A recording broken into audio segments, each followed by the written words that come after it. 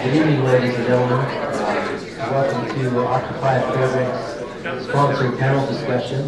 Uh, Tonight we'll be discussing uh, several issues that uh, inspired the Occupy movement, and uh, it's our effort to uh, find some potential solutions to the several endemic American issues. It's our hope that discussions like tonight uh, may help inspire the development of some practical solutions to complex socioeconomic economic inequalities inherent to American society. So uh, I'll just start off with, uh, so to finish my introduction, I am a uh, super, super senior here at the university. Political science student and uh, also a uh, wildland firefighter for the state of Alaska. Um, so now we'll go we'll move to the panelists. Uh, the gentleman on my closest to me on the right, his name is Dirk Nelson. Uh, he is a 35, 34 year Alaska resident. He began working farms in the Midwest at age nine. Traveled North America, traveled North America by thumb, motorcycle, and many other vehicles. Dirk's a former licensed clinical social worker, former licensed marriage and family therapist, sometimes writer, former activist, activist, and former many other things. He's been wrestling for numerous years to discover what defines him currently. He's married to a patient and skilled woman and has raised or is raising three amazing children. He has been active in drug law reform for over 30 years, was co-founder of the Fairbanks Bill of Rights Defense Committee. Uh, their uh, was to contest the U.S. Patriot Act, USA Patriot Act, and is supporter of the Occupy Wall Street movement. He considers himself to be a nonpartisan, non-joiner, eccentric, and finds less reason to tolerate or be patient with the direction in which the country has been headed for the last numerous decades. He currently fills the role. He currently fills the role of quasi-subsistence hunter and gatherer, as well as mostly organic farmer, farmer uh, for his family, while waiting for the sun to ultimately supernova thus returning the planet to the rats and cockroaches, which will, no doubt, serve, superior, serve as superior stewards when contrasted to the average wayward Homo sapien. Uh, I gotta take a breath. so our next esteemed, uh, esteemed panel member is uh, Michael Peppinger. Um, he uh, joined the UAF faculty in 1991. Uh, he's associate professor of economics. Um, he got a Bachelor of Science in Econ from Ball State University, uh, a Master's in Social Science from the University of Chicago, and a Master's of Science and PhD in Economics uh, from Purdue University. Did I get that all right, Mike? Well, except when I'm not as old Oh, okay. Nonetheless esteemed, however. And then I, I think the uh, gentleman in the middle, most of you will uh, recognize him. He asked me, asked me to simply introduce him as Scott from Sitka.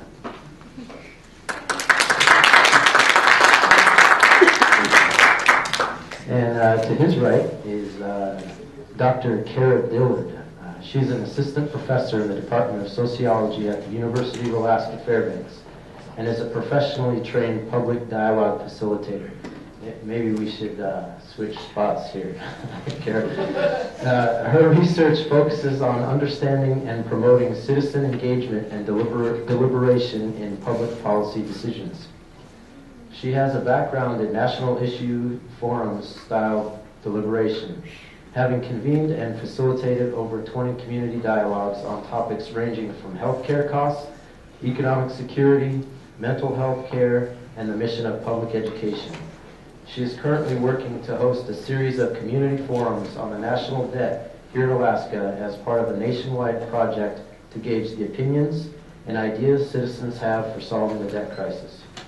Uh, Kara is new to Fairbanks. This is only her second semester at the university, and when she's not teaching class or working on her research, she can find her snowboarding and skiing at Moose Mountain with her six-year-old son. Uh, and to her right is uh, Dr. Sean Parsons. He happens to be one of my professors. Um, and uh, Sean is an assistant professor of political science at the University of Alaska. He got his PhD from the University of Oregon in 2010. Um, He is currently working to turn his dissertation, which was on the interaction between the anarchist homeless support group Food Not Bombs and city officials in San Francisco into a book. In addition to Food Not Bombs, Sean has, has conducted research and published on topics including social movement theory, radical environmental theory, the politics of charity, and climate justice. And uh, last but not least, um, on the very end of the table opposite me is uh, David Giessel. Uh, he is a graduate of the UAF School of Engineering. He took an interest in economics five years ago during his time in graduate school, and with the help of some friends, started a community group to study philosophy and economics. A re- reoccurring topic of discussion in group meetings is that in any field, and especially in philosophy and economics, it is important to figure out the right questions to ask, because if the questions aren't right, it doesn't matter what the answers are. So uh, before we go any further, uh,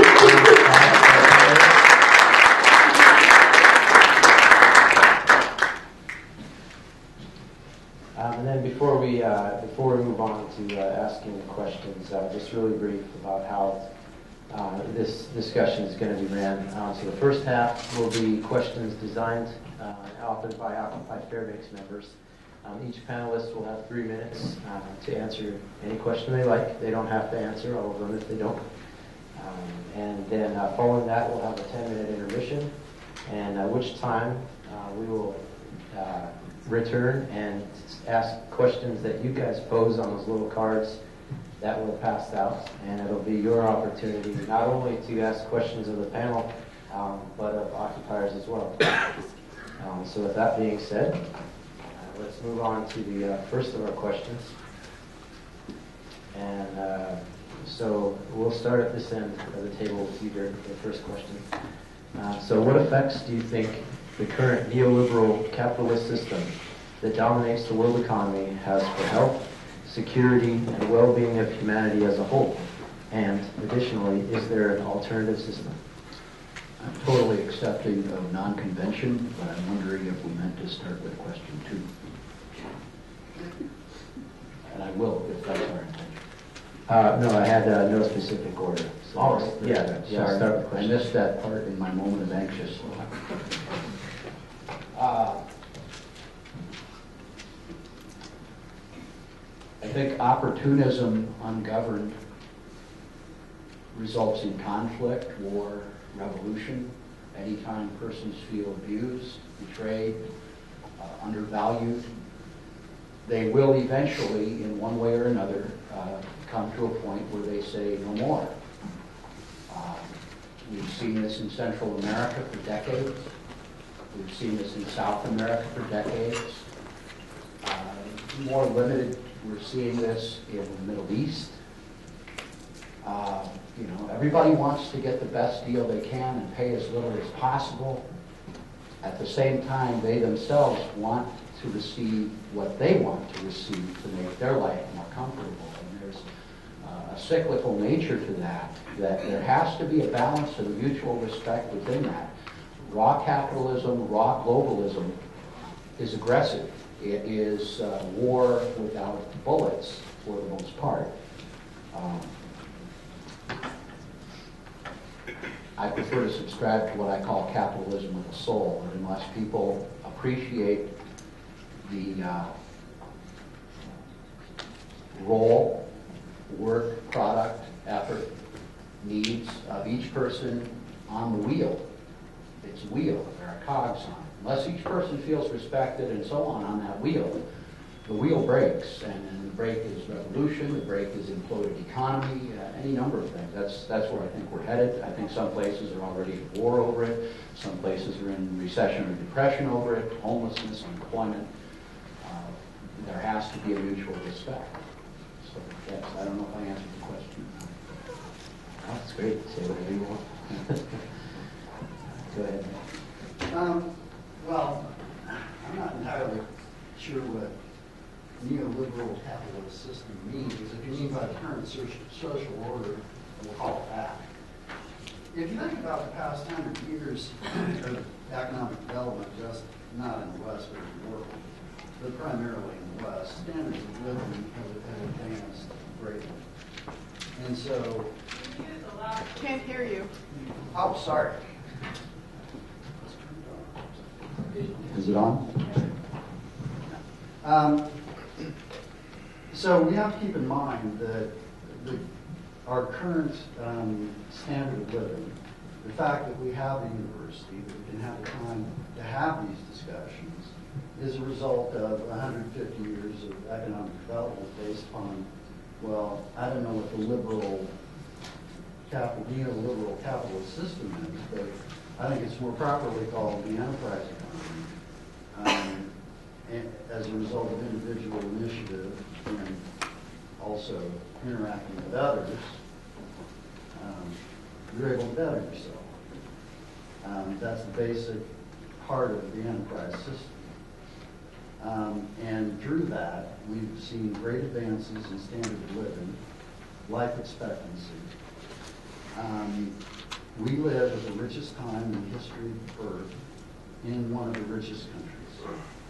That being said, the world is not a perfect place. The world has been going to hell in a handbasket since there's been a handbasket. So we need to keep that in mind. Many of the problems we're talking about here have been discussed for a hundred years.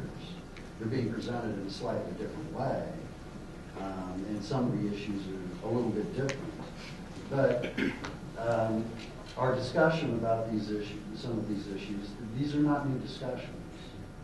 Um, and uh, so our current state, as a result of the neo-capitalist liberal system, um, well, there's been there's good sides and there's bad sides to those developments. Um, and on the whole, uh, in the West, we've benefited. Now, outside of the West, in other countries, developing countries, in Africa in particular, they haven't.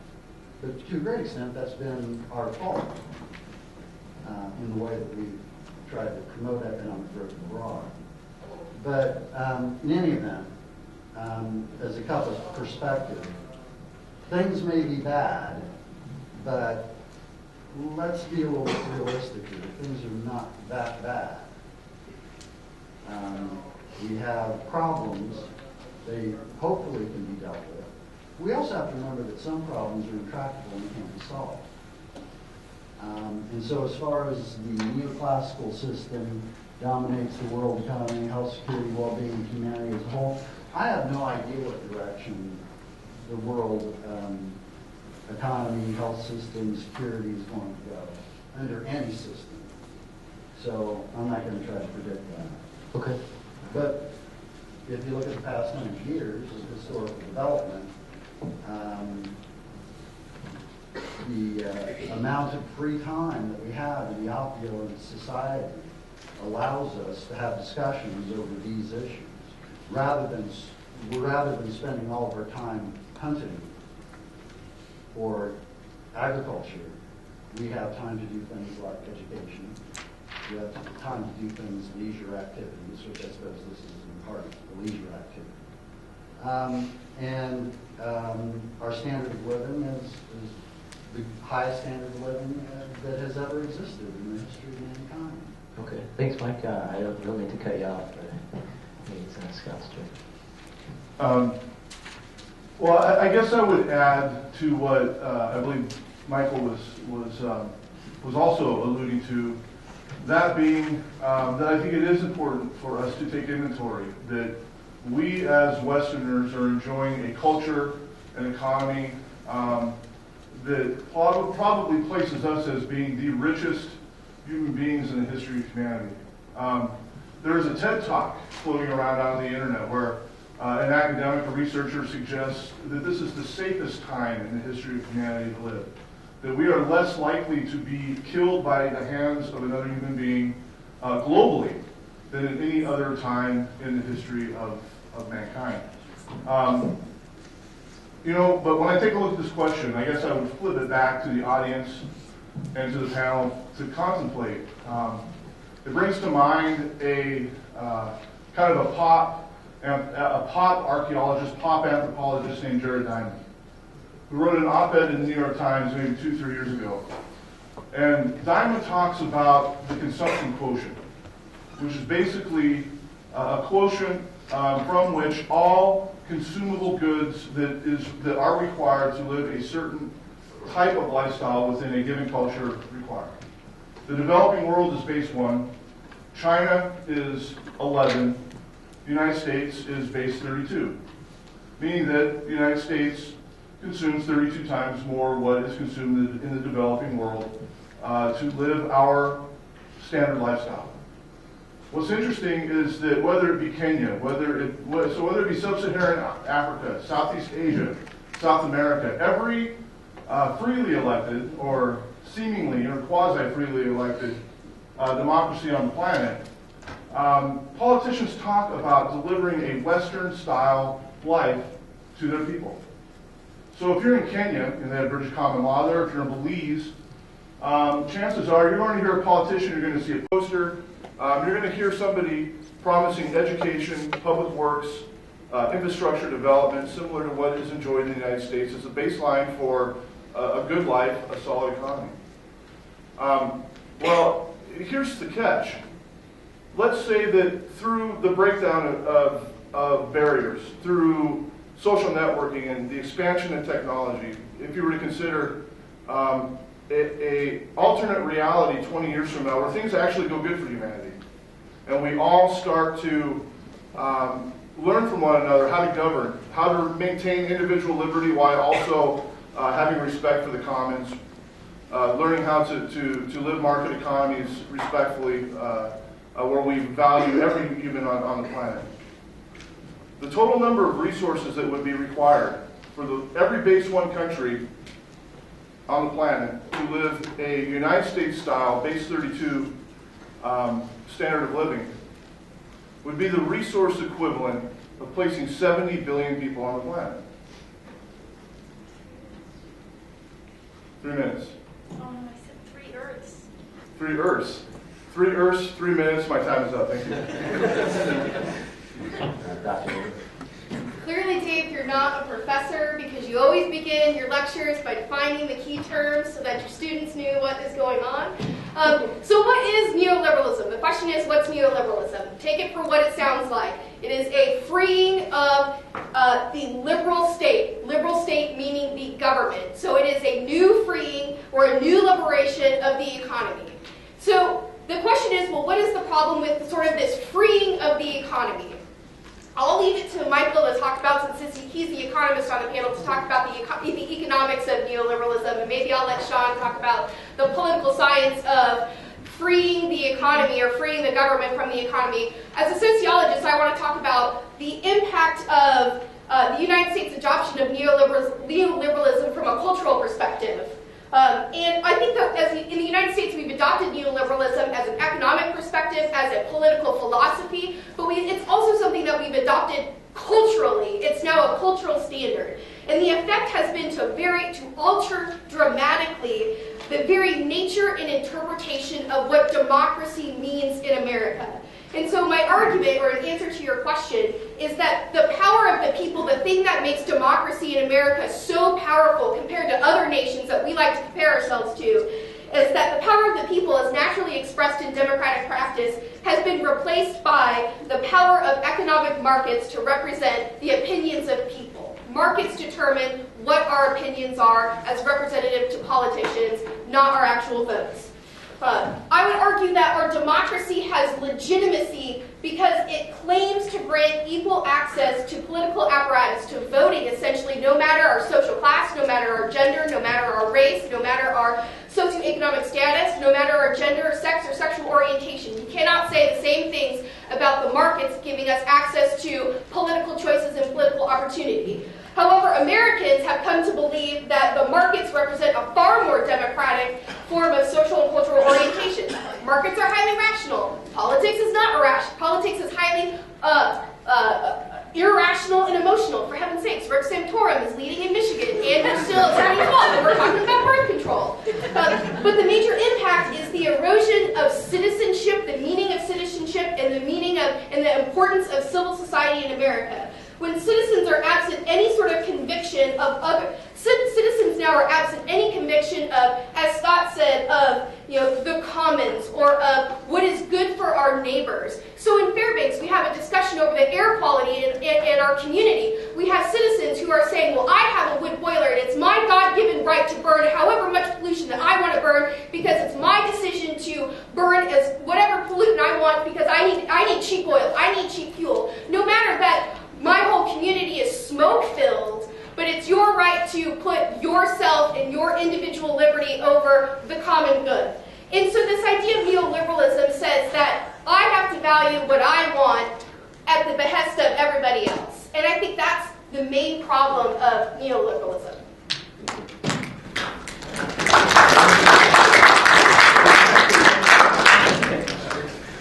So I want to pretty much add a little bit onto what Kara just mentioned. Um, so to begin with, generally when people talk about neoliberalism, they talk about the privatization of government services. So the privatization of prisons is an aspect of neoliberalism. And generally that's seen as a weakening of the state. And I actually radically disagree with that view. Um, in reality, neoliberalism removes something that was once a politically contestable topic out of the realm of politics and into the realm of the market. So when you privatize prisons, you don't cease making prisons political, you just depoliticize prisons.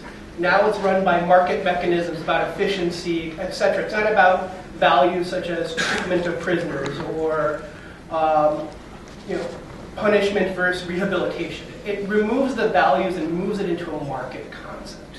Um, the, the Princeton political theorist Sheldon Wolin refers to this process as inverted totalitarianism. It is the corporatization of social services in our lives and, re- and the removal of political control from being able to have on institutions that affect you. Um, Jennifer Wolch, who's a social work professor at Berkeley, refers to it as the shadow state, a state that emerges from economic relations that is just as authoritarian as any other state apparatus. So, in general, though, I, I argue believe that neoliberalism under, believes the idea that economic growth is the paramount value of life. And I personally believe that it's about personal, uh, social, economic, and political development. And I think there's a difference between growth and development. All living entities grow, but usually they stop at a certain point. If they don't, they become cancerous. Well, all of us are developing constantly. We're constantly developing emotionally, psychologically, spiritually in some people. And I think that's a big difference between economic growth and development. I promote, personally promote development. Um, in addition, I think capitalism as an economic system naturalizes itself and makes it believe that it's this always existing, never changing system, that capitalist relations have always existed in the world. And I don't believe that's true. It hides alternative forms of economic relations, such as gift economies that have dominated so many different parts of the world. Um, and in general, I would promote a personal system that is a, what's called participatory economics. It's about expanding economic democracy, social democracy. And in general, I believe that if there's an economic system that cannot be controlled by direct democratic means, it's too large to exist. That's my own personal view.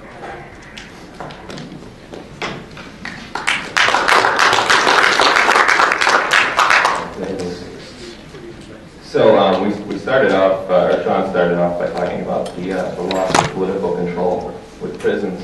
Um, I would remind everybody that the laws that lock these people in cages for having the wrong plant in their pocket are political, right?